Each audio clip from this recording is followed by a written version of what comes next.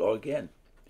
In the Proclaiming Proclaimer's book, rather, which of course the title, complete title of it is Jehovah's Witnesses Proclaimers of God's Kingdom. We've reached chapter five where they get into the work of, of Russell, and the and the chapter is entitled Proclaiming the Lord's Return, and in a bracket under that, 1870 to 1914. And we'll get into the the misleading aspect of even the title in a minute, but mm-hmm. let's let's read through it first. It starts with a quote from C.T. Russell. Yes. From the Watchtower of July 15, 1906. Russell says, The following history is given not merely because I have been urged to give a review of God's leadings in the path of light, but specially because I believe it is needful that the truth be modestly told, that misapprehensions and prejudicial misstatements may be disarmed, and that our readers may see how hitherto the Lord has helped and guided. Following those words, Charles Taze Russell proceeded to outline the developments that led to his publishing Millennial Dawn, later called Studies in the Scriptures, and Zion's Watchtower and Herald of Christ's Presence, now known as the Watchtower announcing Jehovah's Kingdom. This history is of special interest to Jehovah's Witnesses. Why? Because their present understanding of Bible truths and their activities can be traced back to the 1870s and the work of C.T. Russell and his associates, and from there to the Bible and early Christianity. Who was Charles Taze Russell? Does the history of his work give evidence of the Lord's help and guidance? Good question. Subhead A Search for Truth. C.T. Russell was born in the United States in Allegheny, now part of Pittsburgh, Pennsylvania, on February 16, 1852.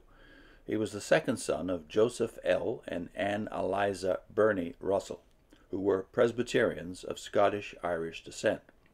Charles' mother died when he was only nine years old, but from an early age Charles was influenced by both of his religiously minded parents. As a later associate of C.T. Russell put it, they trained the small twig, and it grew in the direction of the Lord. Although brought up as a Presbyterian, Charles eventually joined the Congregational Church because he preferred its views. Young Charles was evidently quite a businessman. At just 11 years of age, he became a partner with his father in a thriving men's clothing store. Charles enlarged the business, eventually operating a number of different stores himself. Although things went well for him in business, spiritually he was very troubled. Why was this? Charles's parents sincerely believed the creeds of Christendom's churches and brought him up to accept them too. Young Charles was thus taught that God is love, yet that he had created men inherently immortal and had provided a fiery place in which he would eternally torment all except those who had been predestined to be saved. Such an idea repulsed the honest heart of teenage Charles. He reasoned, a God that would use his power to create human beings whom he foreknew and predestined should be eternally tormented could be neither wise, just, nor loving his standard would be lower than that of many men. That was quoting Russell. But young Russell was no atheist. He simply could not accept the commonly understood teachings of the churches.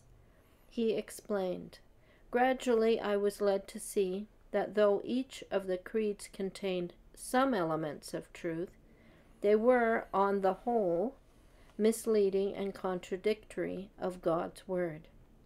Indeed, in the creeds of the churches, elements of truth were buried under a morass of pagan teachings that had infiltrated uh, tainted Christianity during the centuries long apostasy. Turning away from the church creeds and searching for truth, Russell examined some leading Oriental religions only to find these unsatisfactory. Oh, okay, back to the title Proclaiming the Lord's Return, 1870 to 1914. Mm-hmm. Why is that even it, by itself misleading? Well, I think because they end with 1914, you assume that all their beliefs are the same as they currently say they were, that it ends in 1914. But that's not true. They didn't. They, they weren't really talking about the Lord's return. They thought he'd already returned. Yeah, he'd arrived already. 1914. They are, they believed he'd arrived already Mhm. in 1874, invisibly, Yeah. and they believed he would. Well, at least in the Barbour days, they believed that he would physically return, visibly return in 1914, and Armageddon would therefore occur then. Yeah.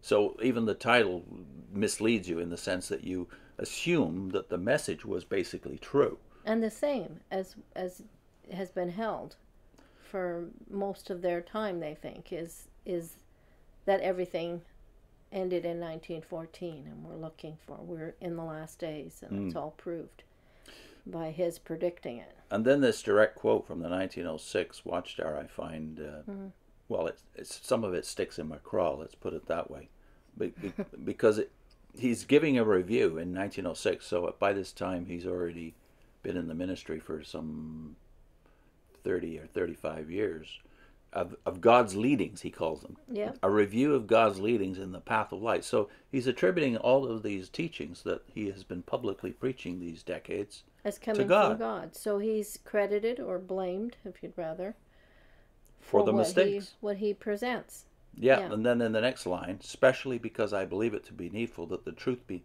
modestly told.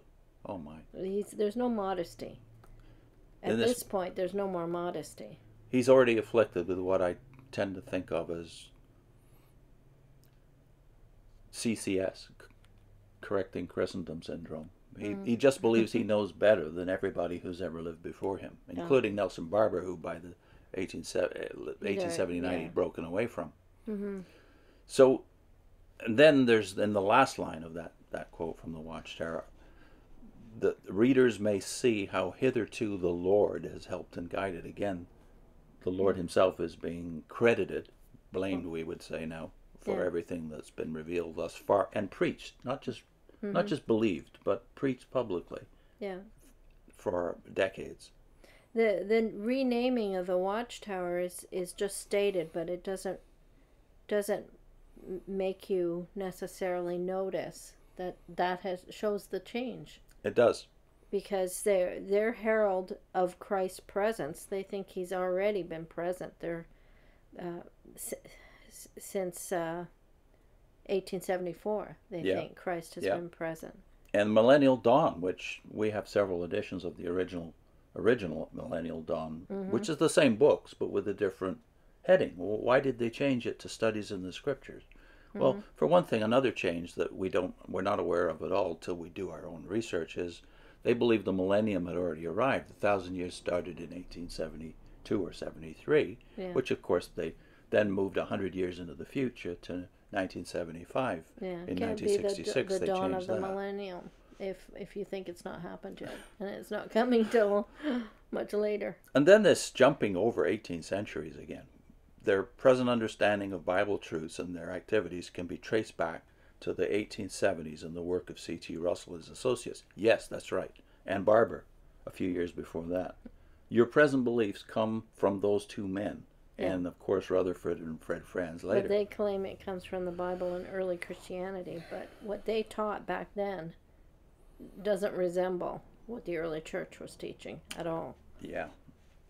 Then the biography, fine. Uh, uh, the credit that his parents were, were religiously minded. Mm-hmm. And here's a nice picture of Joseph L., his Is- father, yeah. Joseph L. Russell, Yeah, The- who looks like a dignified man. under the under his picture it says Joseph L. Russell, Charles's father, was a member of the Allegheny Bible study class and a close associate of his son in the activities of the Watchtower Society until his death in 1897. So what you have to ask is was he a true believer then? Was he in the truth? Yeah. Because what did they teach in those days that was truth? We've just Yeah. named a few things that they Yeah. changed shortly after Russell. So if you want a kind of summary, the name Jehovah was not an emphasis back then. The the kingdom hope was in heaven for everyone. Mm-hmm. There was no great crowd on the earth. There was no door to door mandate. Mm-hmm. Uh, the kingdom started in 1878, That's right. following the presence of Christ in 1874. And That the last the days date. began in In 1799. so and they were preaching all of this too as the divine plan. Yeah. And because they believed the kingdom was in heaven, everyone took the Lord's Supper. Yeah. And they all thought they were a part of Christ's body. So, how much truth do we have to have for us to be In true tr- believers and to be in the In- true religion? That's right. It's a good question if, to ask. if you believed these things today, you would you would be kicked out of the king out of out of the watchtower because none of those things are taught. So does that mean Joseph and Russell, uh, Charles, were not true believers? because they've already said in in the second last paragraph that we read that that there were part there were truths in the creeds of Christendom. They rejected the creeds. They rejected many of these truths. But what's missing here is, okay, if if you're willing to grant there's some truth in the creeds, then the same question comes up again, which is how much truth do you need before you can be called the truth? Yeah. And if if you reject Chris, Christendom because they have certain false teachings, then don't you have to reject your your ancestors, basically Charles Taze and Rutherford, because they didn't have your teachings? And his parents, it says that his parents believed the creeds of Christendom's churches and brought him up to accept them. So does that mean they weren't true Christians? Because nowadays, if you are in a church, the watcher is not going to say, no matter how sincere you are, that you are, Mhm. you know, a good example to your children. They seem to think that they were religiously minded people who pointed Russell in the right direction. But today, would you credit Christian parents of that? No, of course not. You wouldn't. And, the, and another thing that really bothers me in that second last paragraph is Charles' parents sincerely believed the creeds of Christendom's churches and brought them up to accept them too.